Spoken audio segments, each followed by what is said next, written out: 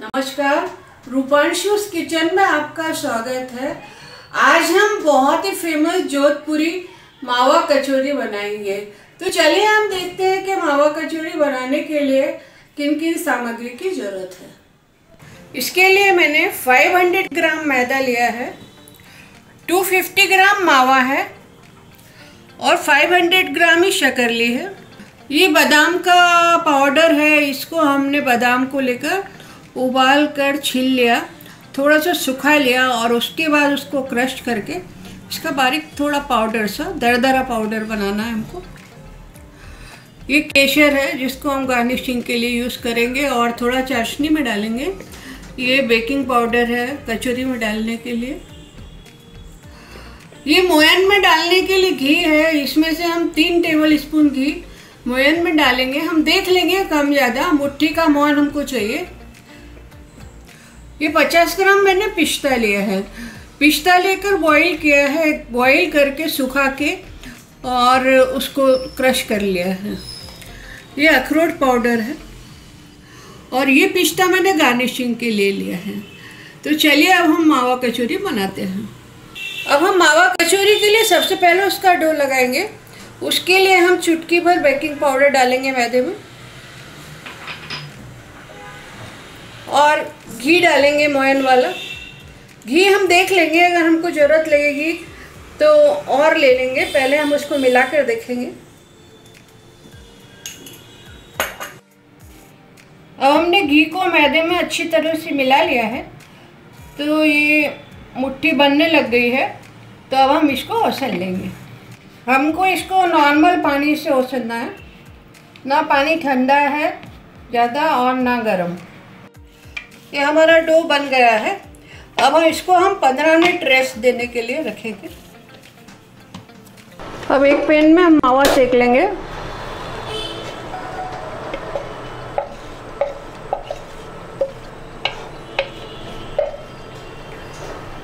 मावा थोड़ा अच्छा सेकना है, ताकि आराम से कचौरी ज़्यादा दिन तक टिक जाए। शुरू में हमने पैन गरम हो, तब तक हाई फ्लेम रखी है। फिर हम इसको स्लो कर देंगे। कि हमारे मावे ने घी छोड़ दिया है। इसका मतलब ये मावा बहुत ही अच्छा है। अब इसको हम थोड़ा और सेकेंगे। सेकते हुए मुझे पाँच मिनट हो गए और पाँच मिनट ही और सेकना है उसको। ये मावा सेकने के बाद अब लाइट ब्राउन कलर का हो गया है। अब हम इसको नीचे उतार लेंगे। इसको एक बर्तन में निकाल कर ठंडा होने के लिए रख देंगे। तब तक हम हमारे ड्राई फ्रूट रोस्ट कर लेंगे। घी डालेंगे।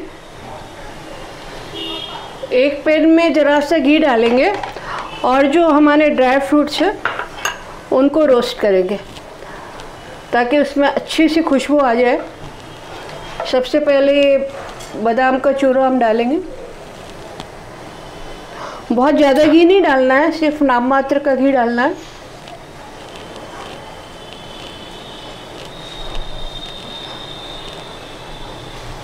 थोड़ा सा बादाम का चूरा भुना जाएगा। उसके बाद में हम इसमें डालेंगे पिस्ता।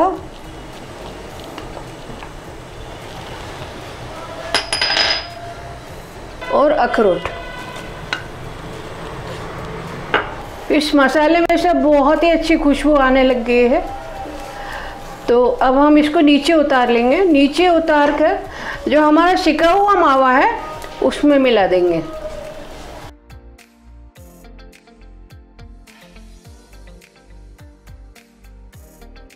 एक पैन में हम शक्कर डालेंगे और पानी डालकर उसके चाशनी बनाएँगे।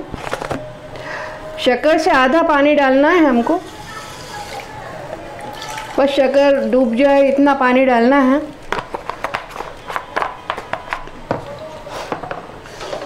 इसको हिला देंगे।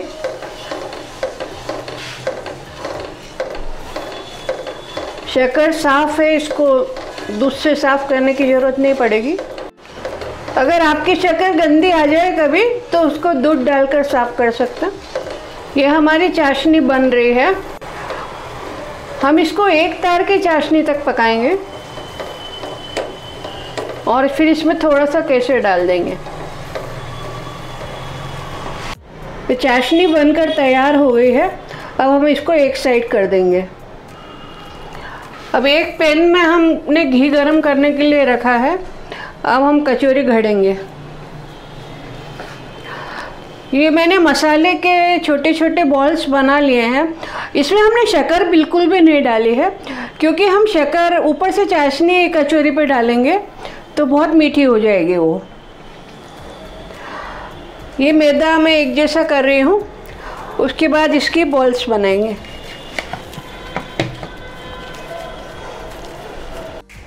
हम एक मैदे की बॉल लेकर उसको फ्लैट करेंगे। बीच में थोड़ा सा गड्ढा जैसा बनाएँगे। अब इसमें एक लड्डू मसाले का भर के और इसको चारों तरफ़ से बंद कर देंगे।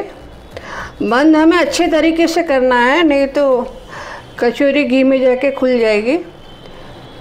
इसका एक्स्ट्रा जो मैदा है, उसको हम निकाल देंगे। और फिर इसको सीधा करके इसको हथेली की सहायता से फ्लैट कर लेंगे। हम बहुत ज़्यादा बड़ी कचौरियाँ नहीं बनाएँगे। ये कचौरियाँ हमने घड़ ली हैं। अब इनको हम घी में छोड़ेंगे। घी इसके लिए बहुत गर्म नहीं चाहिए। मीडियम घी चाहिए। अगर आपके पास बर्तन छोटा आप लें तो इतनी एक साथ नहीं डालें। अभी आराम से धीरे धीरे तलाएगी और घी में ऊपर आ जाएगी। कचौरियाँ ऊपर आने लगी है, फूल रही है। थोड़ी देर में इनको पलटेंगे। सभी कचौरियाँ फूल गई है। अब हमने इनको पलट दिया है और इनको गोल्डन होने तक तलेंगे। गोल्डन ब्राउन हो जाएगी, तभी निकालेंगे। ये हमारी कचौरी तला गई है, अब हम इसको निकाल रहे हैं। फिर चाशनी में डालेंगे। अब चाशनी में हम केसर डालेंगे।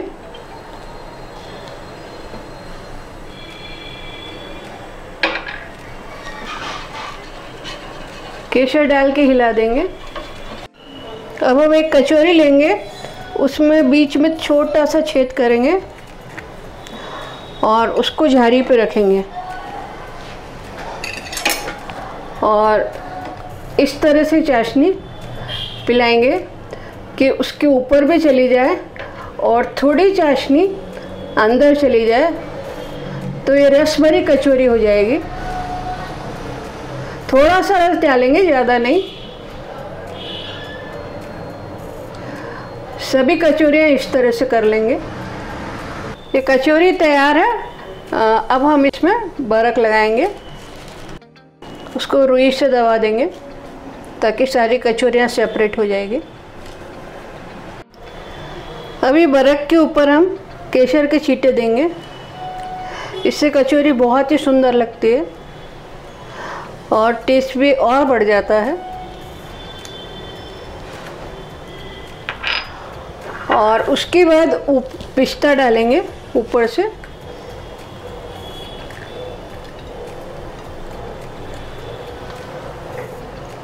ये हमारी कचौरियाँ तैयार हो गई है। अब आप इनको टेस्ट करिए और रेसिपी बनाइए और अपने फ्रेंड्स के साथ शेयर करिए और मेरे चैनल को सब्सक्राइब करिए। धन्यवाद।